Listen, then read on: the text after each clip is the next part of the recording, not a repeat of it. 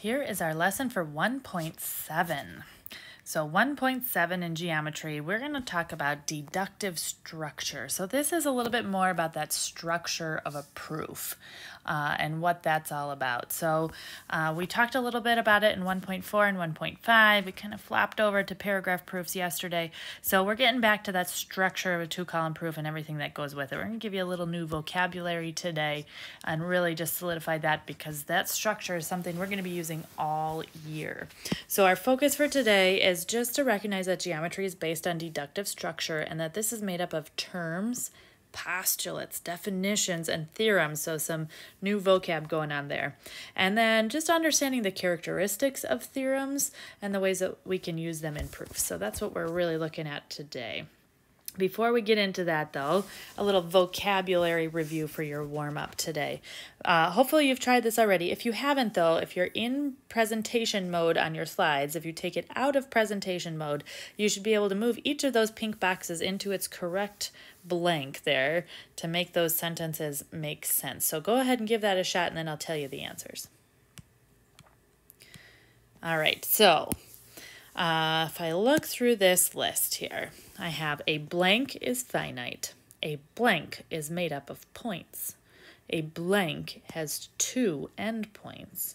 And a blank has a vertex. Now, if we look through what our options are, I have angle, point, line, and segment.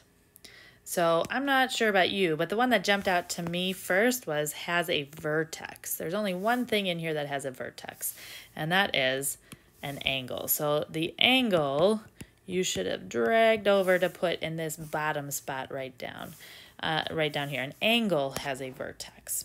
Let's see, well, what has two endpoints? That's another one that jumps out at me the two endpoints, two endpoints would be a segment. A segment has two endpoints. All right, now I have a point and I have a line. And my two that I have left is a blank is finite and a blank is made up of points. So finite means um, ending. It has it is finished, right? That there's only that and that's it. Um, and that definitely does not describe a line. A line is infinite, not finite. So a point is finite. That should be the thing that goes up top. So the last thing that I have is a line. A line is made up of points. How many points does a line have? Two, three, four, a hundred, two hundred? A line is made up of an infinite number of points.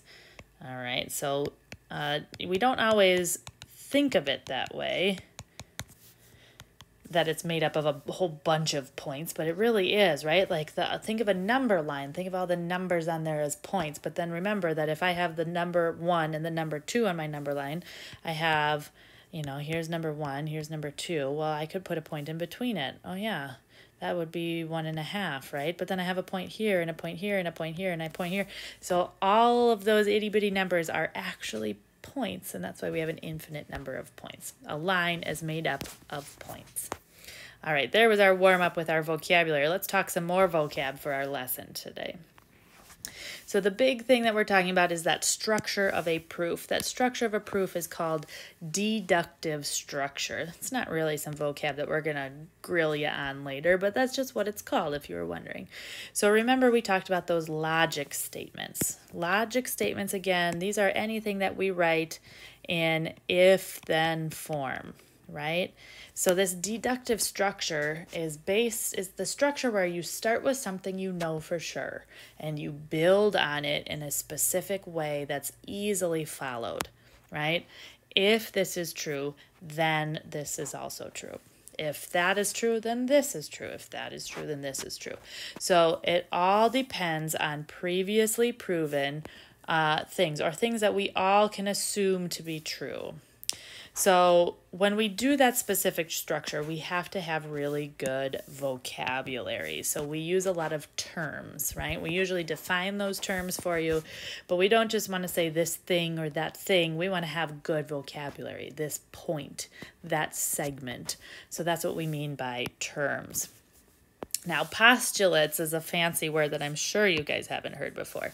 Postulates are assumptions. We're going to assume that a line is straight, right? That's an that's a postulate. That's something that we don't have to argue over. It's something that we can all agree on. So there are a few of those things, although we really try to limit those assumptions um, as much as we can. But there are some things that you just can't really explain, like that a line is straight. It just is, right? So those things are called postulates. The two biggest things that we have are definitions and theorems. So here we have definitions, and then we have theorems as well. And we've actually done both of those things already in class. So an example of our definition, if two angles have the same measure, then they are congruent. That's a definition of congruent, right? We did that way back at the beginning. That's a definition that we've already talked about. Uh, and we've already done a theorem as well. A theorem that says if two angles are right angles, then they are congruent. Notice this isn't saying what a right angle is. It's just saying something that we know to be true about right angles because we proved it. Okay, so that's the difference. Like a definition is saying what something is. What is congruent? It's when they have the same measure.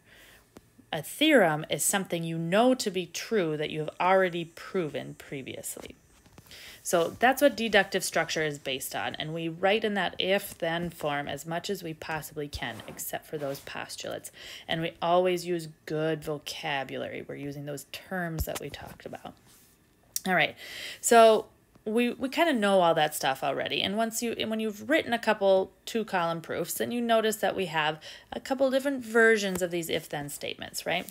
So the first one that we talked about was just a conditional statement. Anything that we can write in if then form right? Um, we say a lot of times we'll say if p then q. Okay? So p and q are just placeholders just like just like variables are in algebra, right? If something, then something else. Uh, if Evan stays awake, then he will learn math, right? There's an if then statement. Doesn't have to be a mathematical statement to write it in if then form.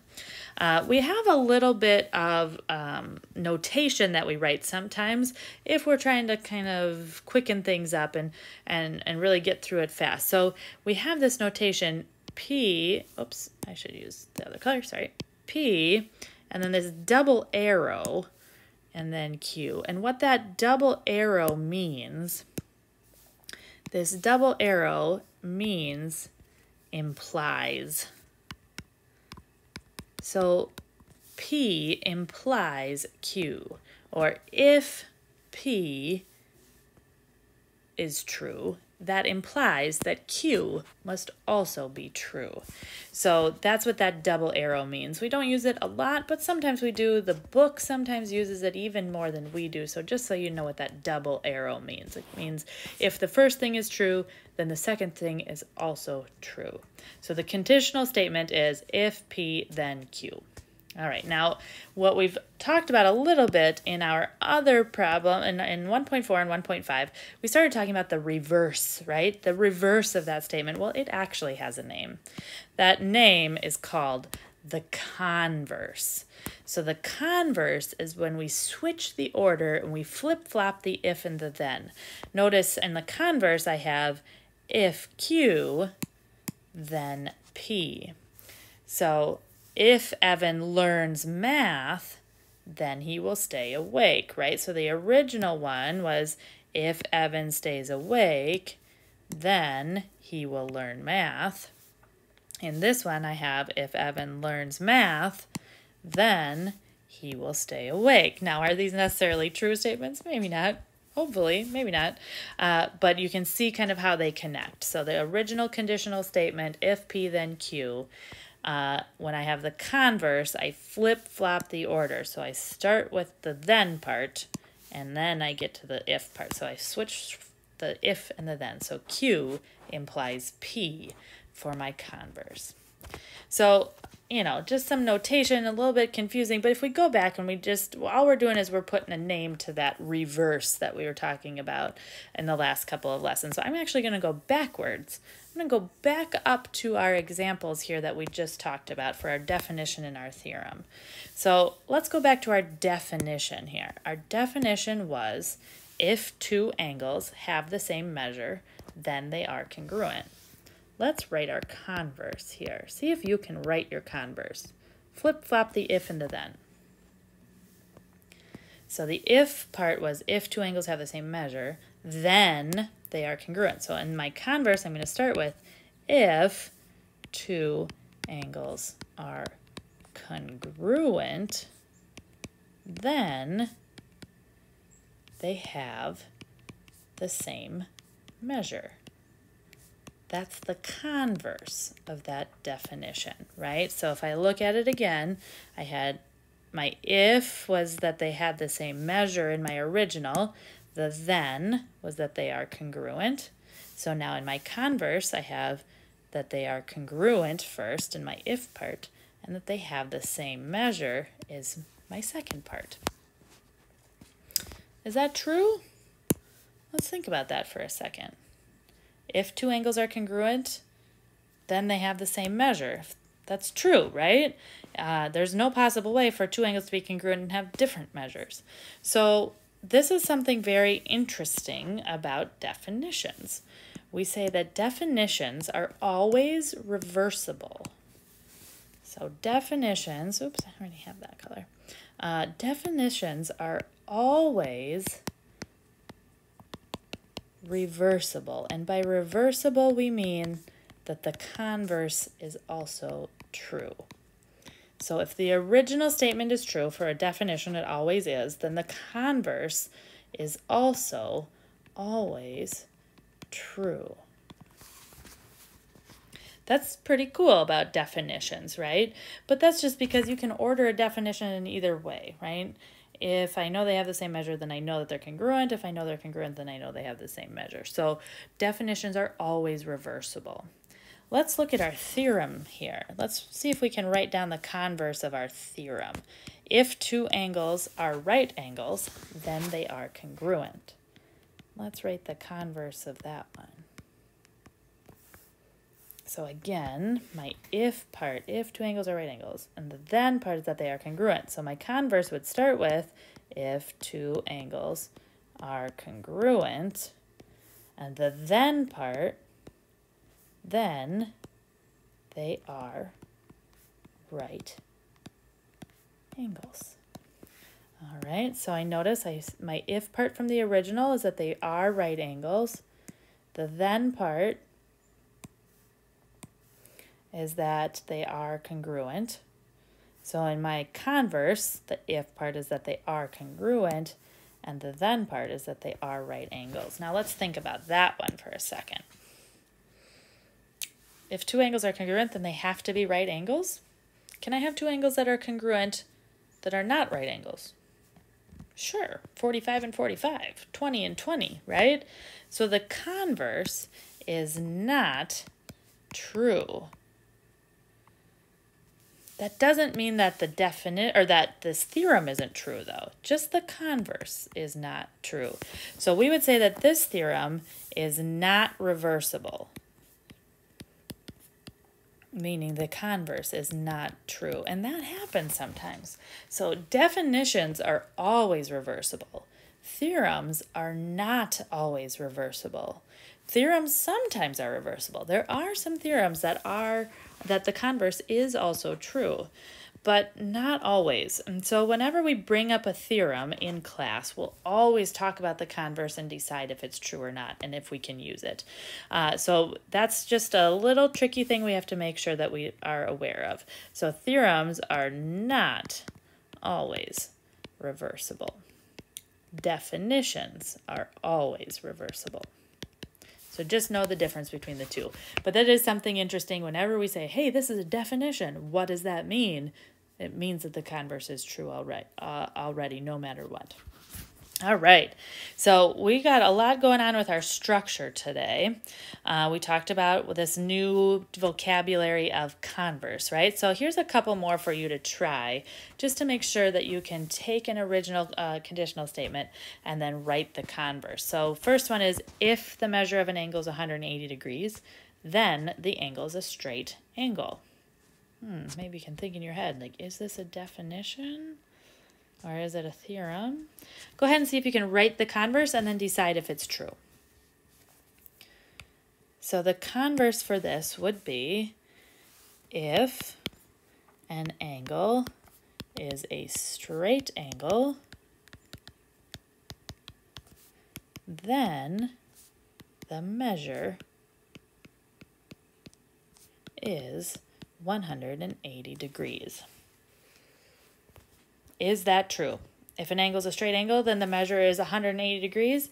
You bet, no matter what, always and forever, that is true. Yes, it's true. And if you think about that a little bit, why is that true? Well, this was actually the definition of a straight angle which means that the converse has to be true.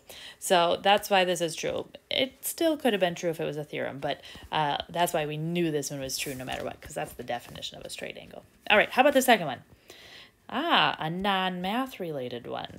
If you live in Atlanta, then you live in Georgia. Go ahead and see if you can write the converse and then decide if it's true. So the converse for this would be if you live in Georgia, then you live in Atlanta. Ah. So the original is definitely true. If you live in Atlanta, then you live in Georgia, assuming there's only one Atlanta in the whole world. But the converse, if you live in Georgia, then you have to live in Atlanta. Is that true? No. You could live in some other town in Georgia. Uh, I have to think of a name of a town. Greensboro, I believe, is in Georgia. So you could live, I could live in outside of a city. Uh, you could live somewhere else in Georgia. So there's an example of um, a conditional statement where the converse is not true. So just remember, if you can think of one exception at all, then it's not true. True means always, forever, no exceptions whatsoever. So when you're kind of trying to decide if it's true or not, sometimes true does not count as true. Okay, so just think, keep that in mind. And it's kind of cool, right? That this don't have to be math related. This is a structure you're going to use all the time. In fact, a lot of geometry students like to ask me, Mrs. Corriveau, when are we going to use proofs in our real life? And my answer is always, you know what? It's not going to necessarily look like these two column proofs in your life, but your boss is going to come up to you and say, hey, can you give me an answer for this question? And you can't just say, well, here it is because I think so. You have to have it based on facts, right? How are you going to build up that understanding in your boss that you know what you're talking about and there is no way that you're wrong? And the way is using this deductive structure. Base it off of things you know. Use that if then form. I guarantee you now, once you know it, you're going to start hearing yourself use it in other places like English and science. And it's a wonderful structure that you can use to prove your point. Your lawyers out there, you get ready. All right. So this is kind of fun, especially when you start talking the non math versions too. Okay, so that was really our lesson for today. So geometry is based on this deductive structure. It makes proofs easier to understand and makes sure that they're accurate. Definitions are always reversible, meaning the converse is true. Theorems are only sometimes reversible, but not always, so that's why we're going to talk about the converse for each and every theorem we go over in this class to check and see if it's true. So your homework today from the book, page 42, a lot of these are just going to be, here's a conditional statement, can you write the converse, and is that converse true? So just to be ready for that, okay? So you got some homework, you got some extra practice there uh, using that deductive structure.